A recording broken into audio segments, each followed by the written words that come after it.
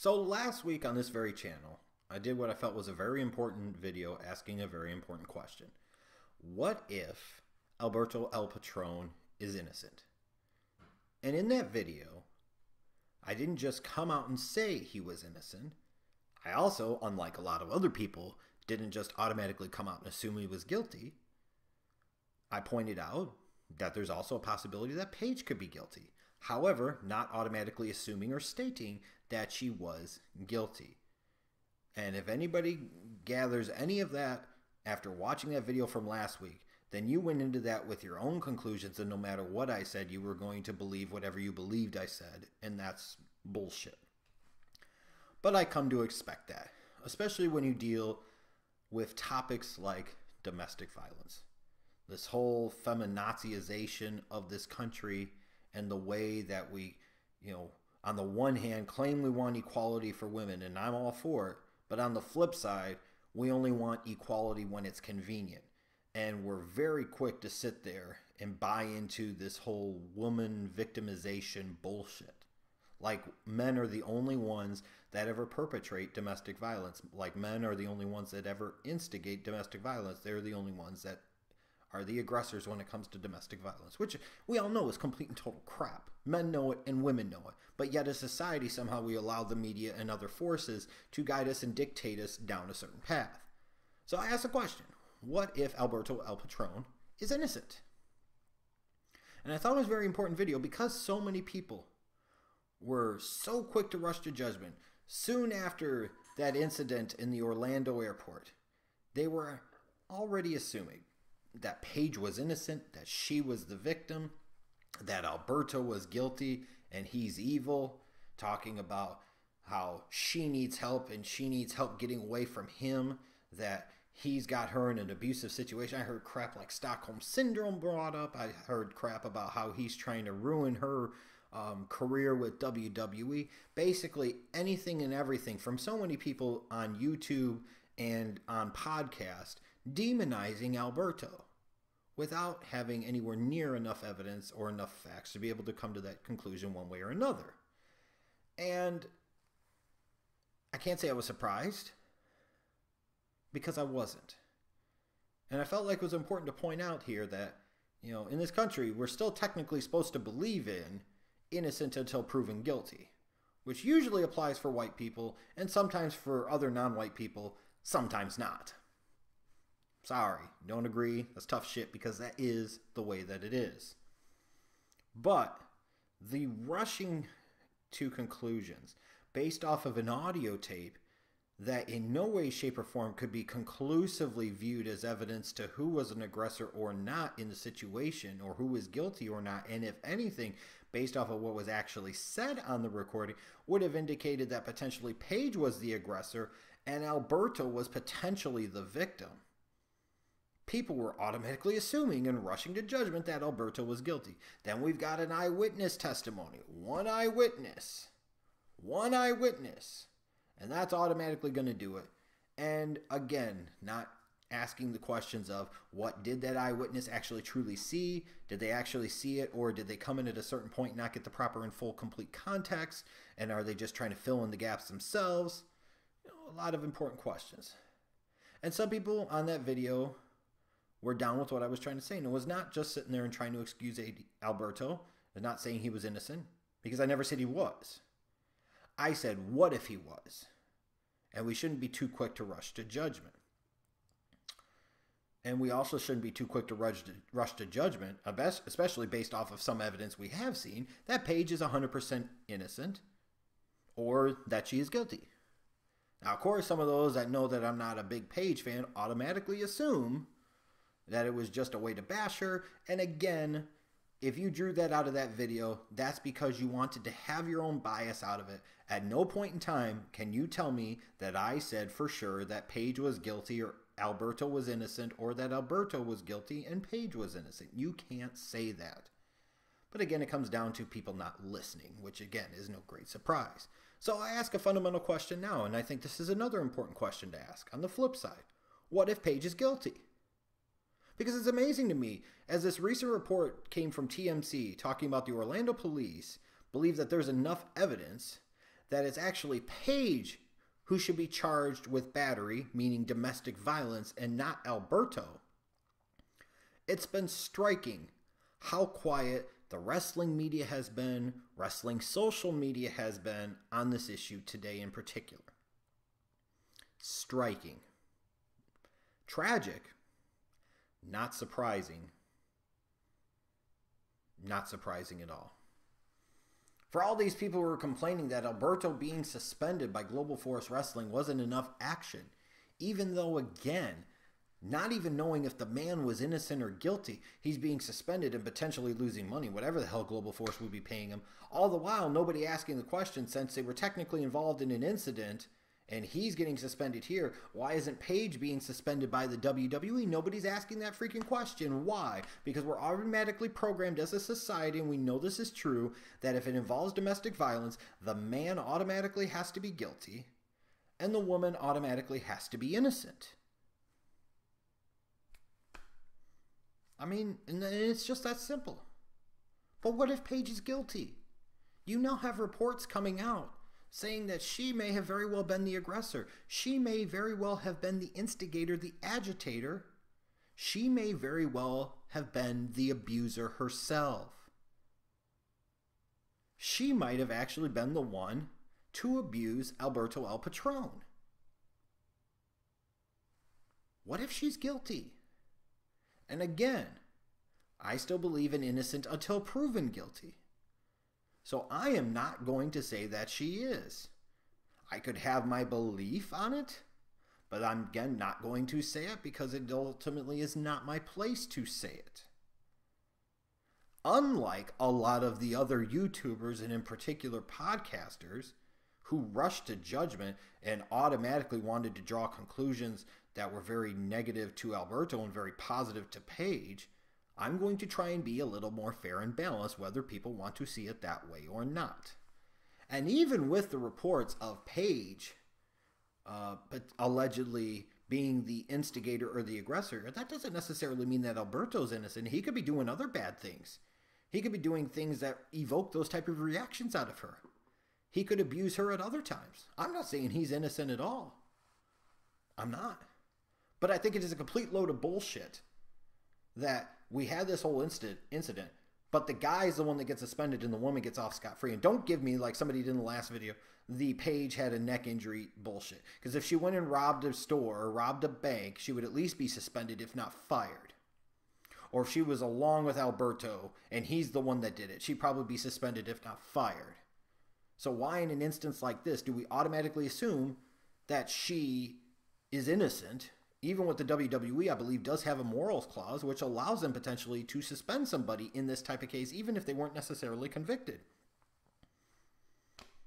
What if she's guilty? How stupid are a lot of wrestling fans and a lot of wrestling media going to feel with the victimization picture that they painted for Paige and the demonization picture they painted for Alberto?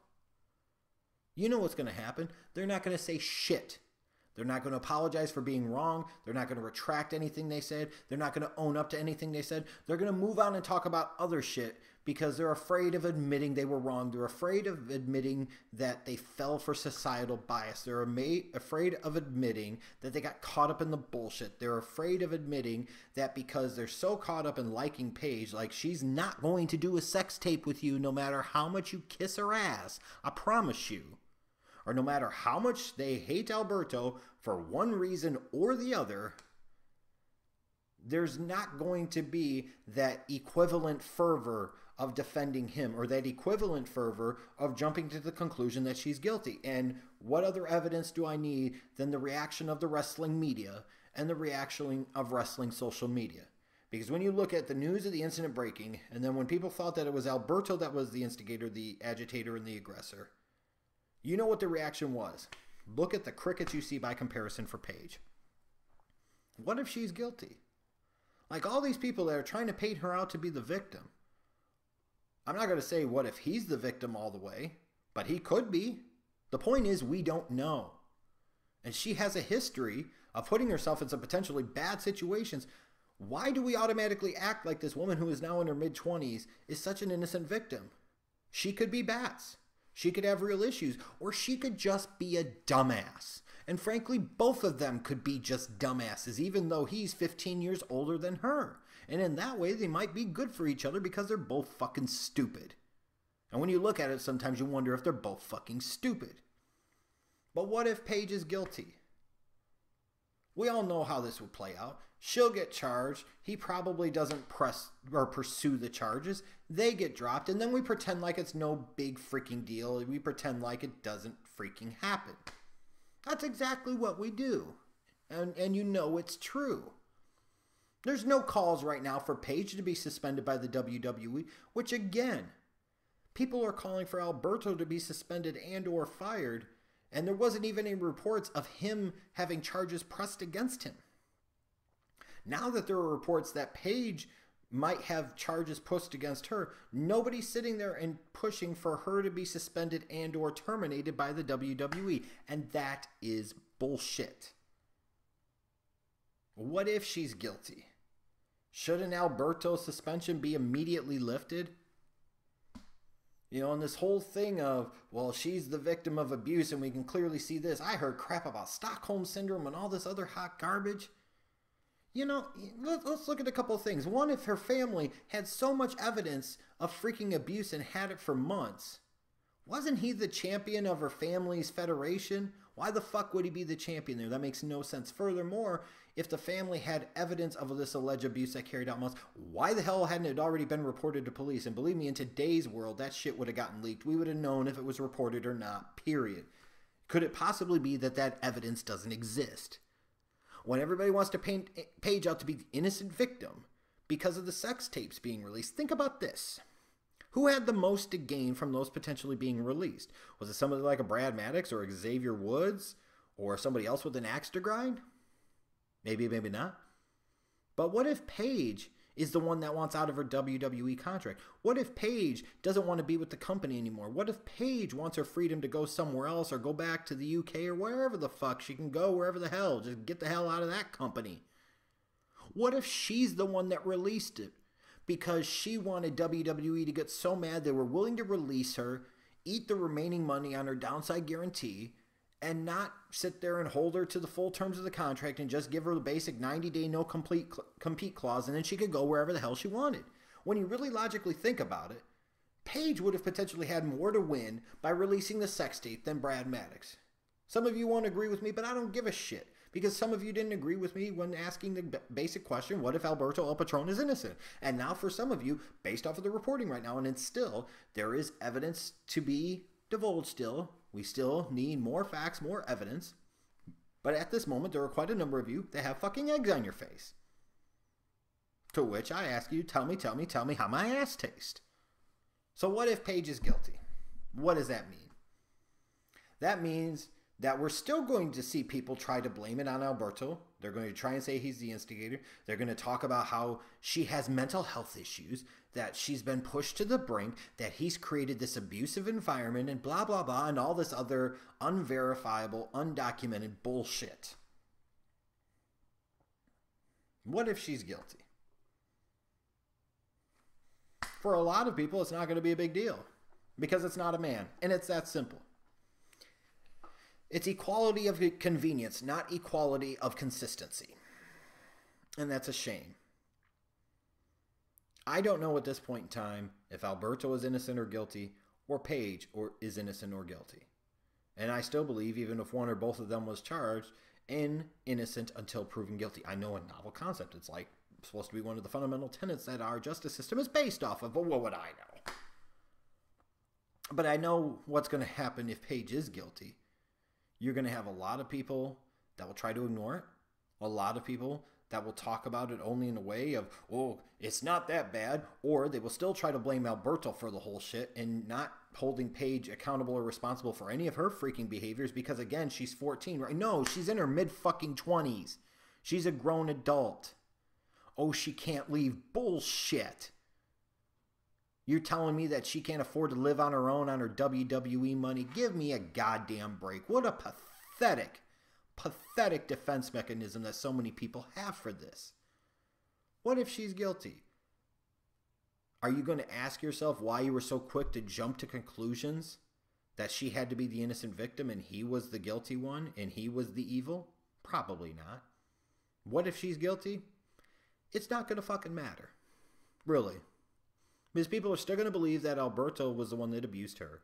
Or Alberto did things to create a situation where, not because of her own doing or because of her own actions or her own inability to control herself or her emotions, that Paige is guilty. No, that she is the innocent victim and she had enough and that she's lashing out. We're going to say, oh, it couldn't have been that serious. Then we're going to talk about, oh, she potentially just threw a drink on him and that's it. And it wasn't anything more. Or if he pushed her, come on, it's a woman. It's not that bad. But then if he hits her, then it's, oh my fucking God, he shouldn't do that. She's just a woman. But if she hits him 10 times, it's funny. He smacks her once and knocks her the fuck out because she came like a man and got treated like a man. Then again, he's the bad guy. The whole point is, what if Paige is guilty? It doesn't fucking matter. It should serve as a lesson to all, as a reminder that domestic violence can go both ways. That it is not necessarily something to laugh and joke about, but it is not necessarily something that we should all just jump to rash, potentially illogical, non factual conclusions about. We should not automatically assume the man is guilty. We should not automatically assume the woman is innocent. We should not automatically assume the woman is guilty, not automatically assume the man is innocent. But we know that's not what's going to happen.